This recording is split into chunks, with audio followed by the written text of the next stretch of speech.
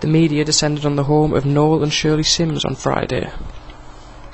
The Sims Colsterworth home is the subject of a compulsory purchase order and Highways Agency set a deadline of noon for the couple to leave their property. Friends and supporters like recovery vehicle driver Adrian Johnson arrived to offer support and blockade the entrance in the hope of keeping the Highways Agency out. Yeah, how long have you known Noel for, Eddie? Uh, since last Friday. Right, is it, you just came with your recovery vehicle, just got a business here? No, basically, what, normally on a Friday night I get home, have a pint. Um, we see him on the news last Friday. I was that disgusted with the way he's being treated. I got in the car and come across. Yeah, And then uh, he said he was getting evicted today, so I'll come across, show him some support. yeah. Do you think, uh, what do you think about the whole situation? How do you think he's been treated? Stinks. Absolutely disgusting. Why are they treating him like this? Why have you come here today? Just to show our support, you know, elderly couple, and just to let him know that he's not on his own. He's got plenty of support. We've got one gentleman who's even drove up from Norfolk today. It must mean a lot to him to, to know that there's, there's people in the area that are supporting him.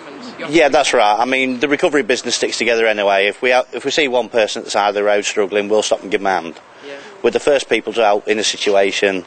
You know, we just, you know, if everybody helps each other, you know, it'd be a lot better.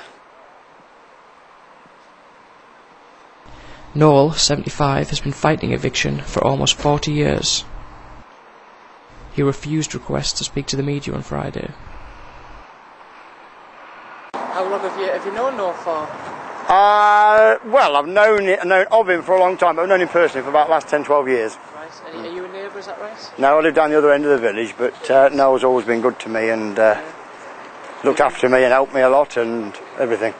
Have you been following the story there? Yes, yes, yes. What do you think of the whole situation? Well, I think it's bizarre. I think it's absolutely ridiculous what they're planning to do.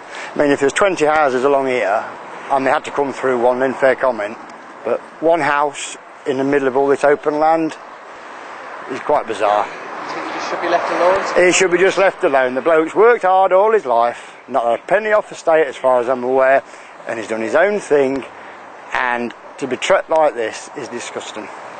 And you're here to show your support? Oh, I'm here to show my support, yeah, amongst others, yes, absolutely. Absolutely. It's criminal. At the end of the day, they could have gone 20 yards that way. 20 yards that way, you got a portable cafe there, which could have moved. There's I don't know how many acres of land for sale the other side. That site could have been extended that way a little bit. And I just think it's an absolute bizarre situation. It's come to this. I really do. I think he's got a lot of support from the people. He has got support. He has got support, yes, without a doubt. A doubt.